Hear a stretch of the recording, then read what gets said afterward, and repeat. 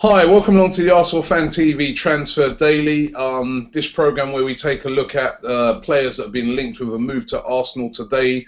Uh, it's Monday today, the 20th of January. we we you know what? We're moving rapidly through this January transfer window, which of course closes on the 31st of January. So only 11 days left, and still no players bought in yet at Arsenal.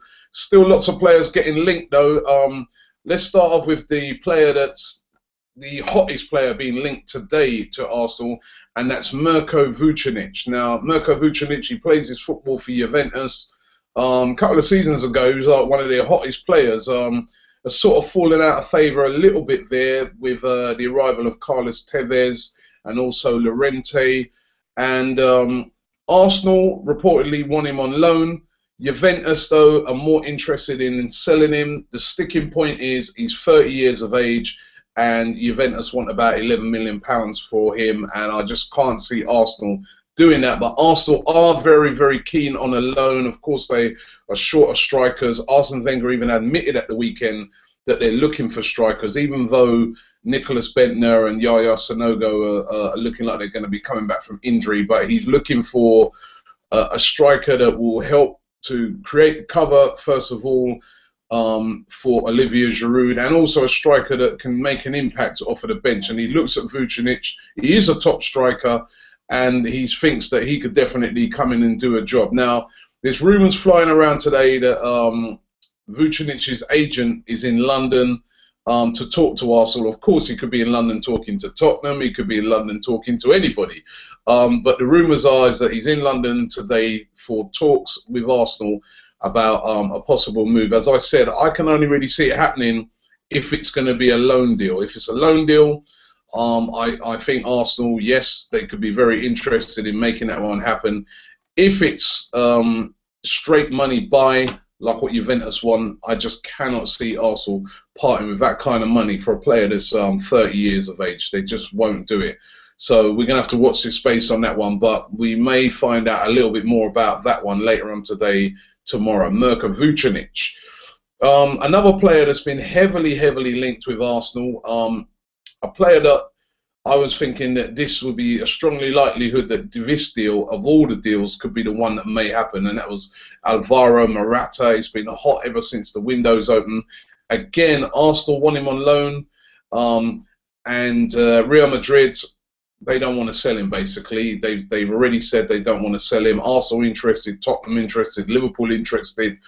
Um, well, the player himself has come out now and says that he wants to stay at Real Madrid. So that could be the end of that one because uh, Morata's come out and he said, "Listen, this is a club that I've grown up at, and I want to stay here at Real Madrid. I don't want to move." So that could be the end of the Morata um, rumours or the Morata thing happening at all this January transfer window because there was talk the other day that Real Madrid were willing to part with him, but they want 70 million pounds on a permanent deal.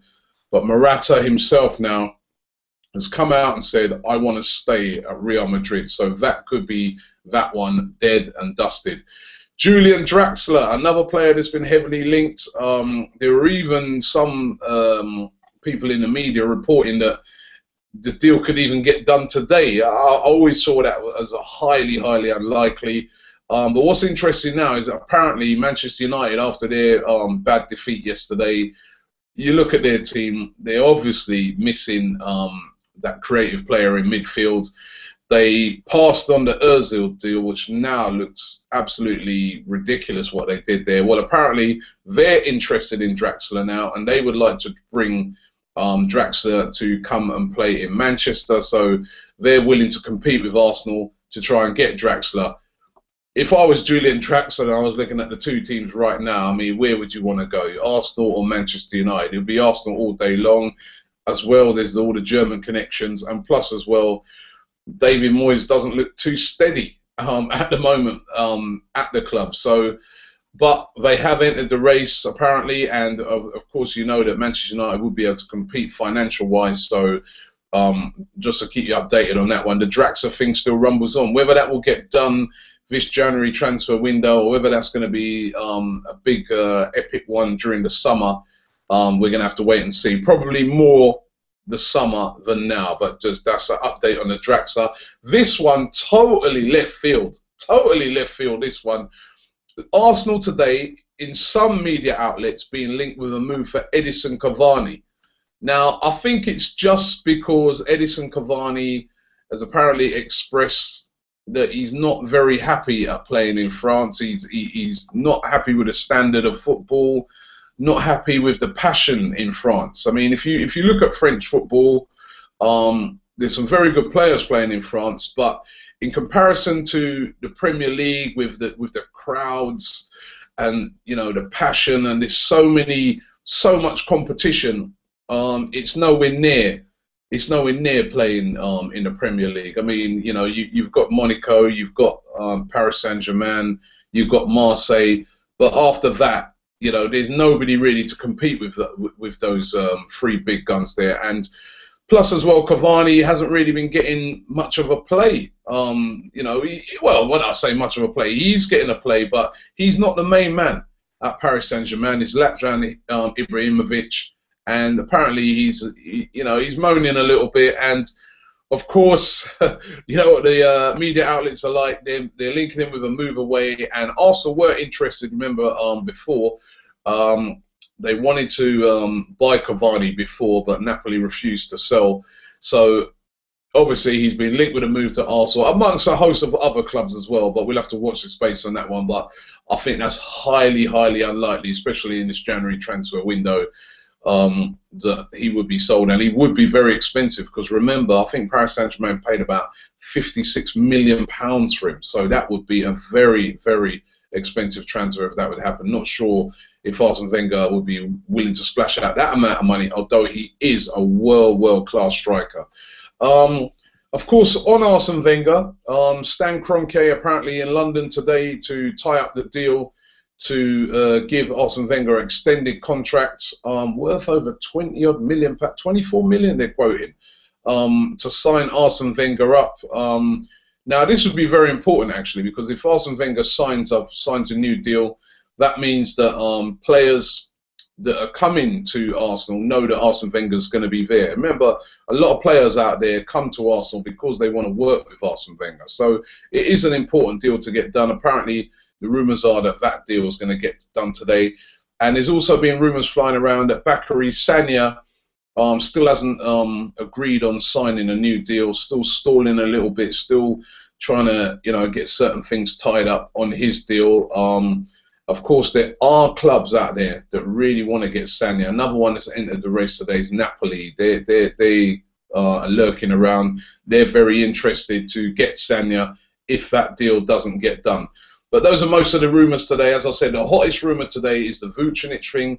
We're going to have to watch this space today to see if that happens. Let me go to some of your comments that you left, and don't forget to leave your comments below. Um, I'll try and read out some of them on tomorrow's show, um, the comments that you, you leave today.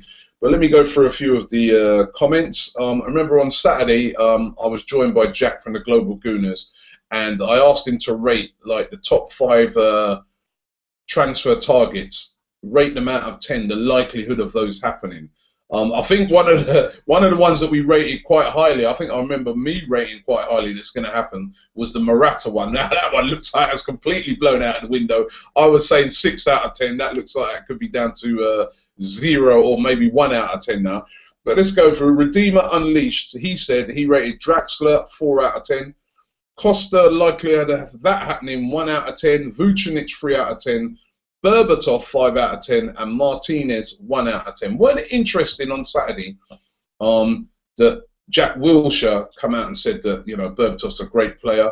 Um, when uh, Wenger said he wasn't interested in, in, in um, bringing in Berbatov, or he hadn't tried yet to bring in Berbatov, he also said he was a great player. You never, ever know. That still could happen a lot of players, a lot of uh, fans weren't too happy with Berbatov's performance on Saturday, but you never know. Berbatov still could be one that could come from left field.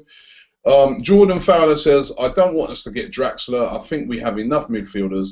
However, I don't know who we get. Maybe Berbatov on a short term for the summer.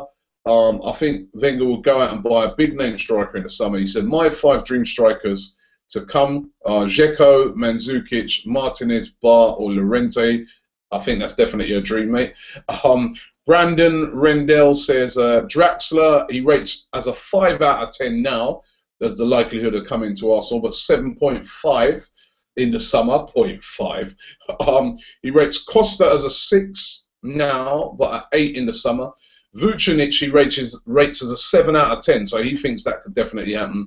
Berbatov 4 out of 10, and he thinks Martinez 8, but only in the summer. Um, London Gamer 986, he says, I know he's been at Fiorentina for a time, but I'd love to see Mario Gomez. He's from Germany, so he'd fit in um, with Podolski, uh, Gnabry, Ozil, Mertesacker. Um, Barlin says um, he rates Draxler as an 8 out of 10 likelihood of coming, Berbatov 5 out of 10, Costa 2 out of 10, Morata 6 out of 10, and uh, Martinez, Jackson Martinez 3 out of 10. Uh, J. J. Tmuk Jackson says we should offer Podolski plus cash for Draxler. No, I'm not having that. I want to see Podolski given more time and given a run to see what he can do. Um, Did Shappy says um, he rates Draxler six out of uh, 6.5 out of 10. Costa 2.5.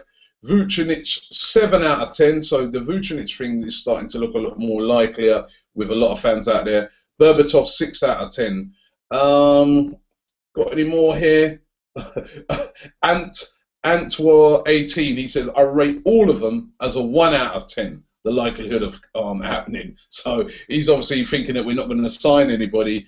And James Sav says, Draxler is our answer to glory. Not sure if he's our answer to glory, but, um, well, the transfer rumours still coming in. We just keep watching this space. We'll keep me updating you every day on what the rumours are, but those are the rumours for today. Make sure you leave your comments. Um, let us know um, the players that you would like to see coming in, or the players that you think Arsenal are more likely to sign, if at all. Um, leave them in the comments below. And thank you for watching the AFTV Transfer Daily today. We will be back tomorrow with more transfer rumours.